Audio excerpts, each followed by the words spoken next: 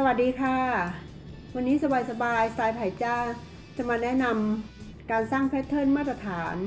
สำหรับเอาไปสร้างเสื้อในแบบต่างๆ เอาไปได้ใส่กันนะคะ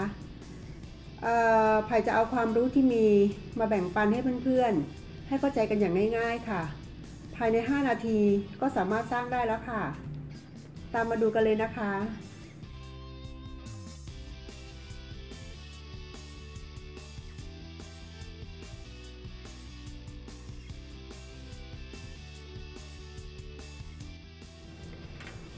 เริ่มที่ตอนแรกเราหาเส้นยาวหน้าไว้ก่อนเลยนะคะ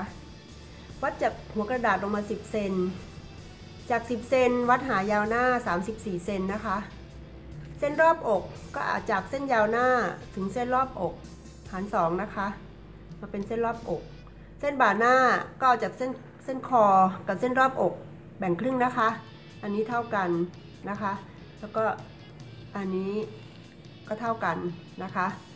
ก็จะได้เส้นอันนี้มามาไว้ก่อนเลยนะคะ หน้าหลังทำเหมือนกันนะคะ สะโพกก็วัดจากเอวลงมา สะโพกเล็กก็ 10เซนสะโพกใหญ่ก็ 20เซนนะคะ ก็ลากเส้นไว้เลยค่ะ เตรียมไว้ก่อนเลยนะคะ ขั้นแรก หน้าหลังทำเหมือนกันนะคะ จากนั้นมาเริ่มที่คอจากกลางหน้าวัดเข้ามา6เซนครึ่งนะคะ ตีขึ้นไป 7 เซนค่ะ จาก 7 เซนแบ่งครึ่งนะคะ แบ่งครึ่งแล้วลากไปเลยค่ะไหล่10ไหล่39 แบ่งครึ่งได้ 19 ครึ่ง วัด 19 ครึ่งจุดไว้ค่ะ แล้วลากเส้นไหล่เลยค่ะ นะคะ จากแล้วก็มาวัดดูเหลือ 13 ครึ่งนะคะ ได้ 13 ครึ่งนะคะ13 ครึ่งก็แบ่งครึ่งได้ 63นะ6.7 นะคะ 6.7 แล้ววัดต่อมา 2 เซนครึ่งค่ะ เป็นเกร็ดนะคะ จุดไว้เลยค่ะ ในเมื่อเพิ่มตรงนี้ 2 เซนครึ่ง จากจุดไหลก็ต้องเพิ่มออกมา 2 เซนครึ่งเช่นกันนะคะ แล้ววัดลงมานะคะ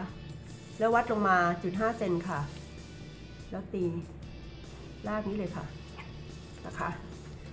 ค้างไว้เลยค่ะ ต่อมามาหาจุดอกค่ะอกห่าง 18 หัน 2 ได้ 9 ลากไว้เลยค่ะ อกสูง 20 จากจุดคอวัดมาตัดตกให้มาตัดกับเส้นที่เราจุดเอาไว้นะคะ จุดไว้เลยค่ะ แล้วก็ลากจากจุดอกขึ้นไปหาเส้นจุดไหล่ที่เราจุดเอาไว้นะคะ ก็จะได้เกร็ดแล้วค่ะ จากนั้นมาหาบ่าหน้าค่ะ บ่าหน้า 34 เท่ากับ 17 นะคะ 17 บวกเซนครึ่งค่ะ จุดไว้เลยนะคะ แล้วก็ลากไปค่ะ ได้เส้นบ่าหน้าแล้วนะคะ ต่อมามาหาเส้นอกค่ะ อก 24 บวก 1 ชิ้นหน้านะคะ เท่ากับ 25 25 นะคะ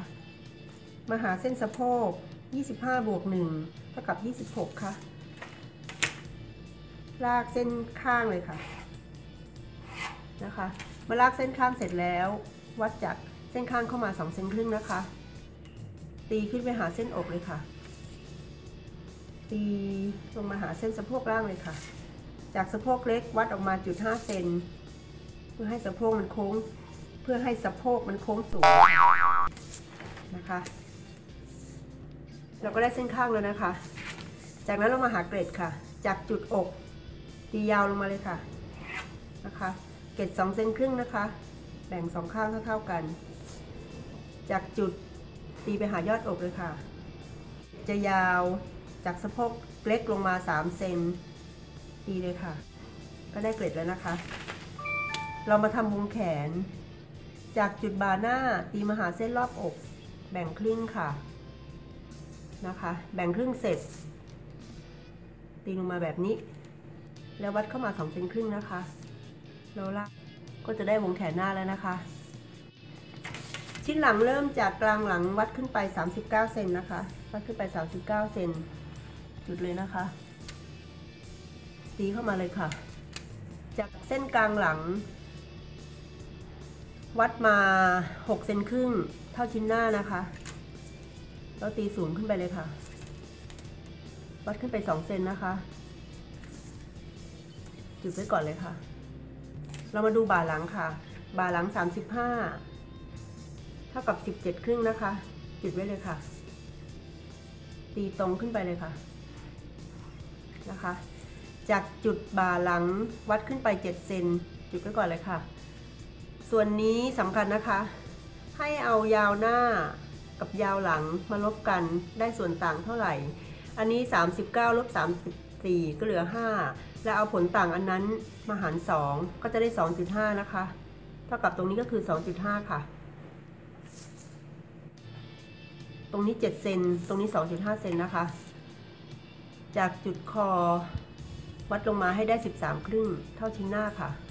ลากเลยค่ะนะคะได้เส้นไหลแล้วนะคะ ต่อมาเรามาดูเส้นอกค่ะ อก 24 ชิ้นหลังลบ1ก็เหลือ 23 นะคะ สะโพก 25ลบ1ก็เหลือ 24 24 นะคะ ลากเลยค่ะ นะคะ วัดเข้าไป2เซนครึ่งค่ะตีขึ้นไปเลยค่ะ หาเส้นรอบอก ตีลงมาหาเส้นสะโพกใหญ่ จากสะโพกเล็กวัดออกมาจุดห้าโค้งค่ะ นะคะ จากเส้นกลางหลังวัดเข้ามา1เซน